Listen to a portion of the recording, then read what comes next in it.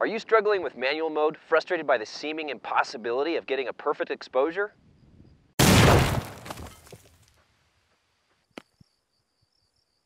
Well, here's a super easy three-step process to nail your exposure every time.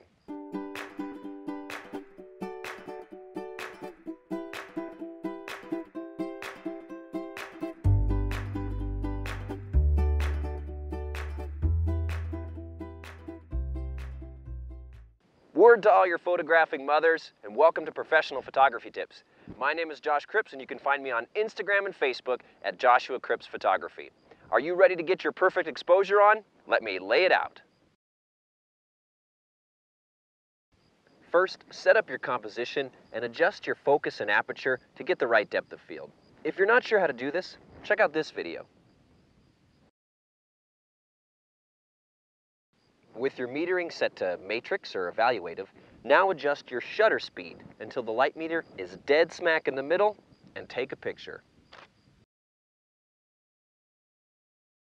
Of course, by rinse, I actually mean take a look at your histogram and see if you have any big spikes all the way on the left, which means you have clipped shadows and your photo is underexposed. Or, more likely, if you have any big spikes all the way on the right, which means you have blown out highlights and your photo is overexposed.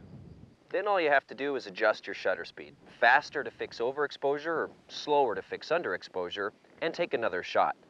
Review your histogram again and tweak as necessary.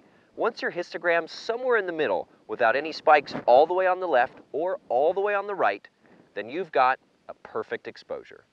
Finally, just a quick note that many modern cameras have a preview histogram available in live view, which makes metering somewhat obsolete.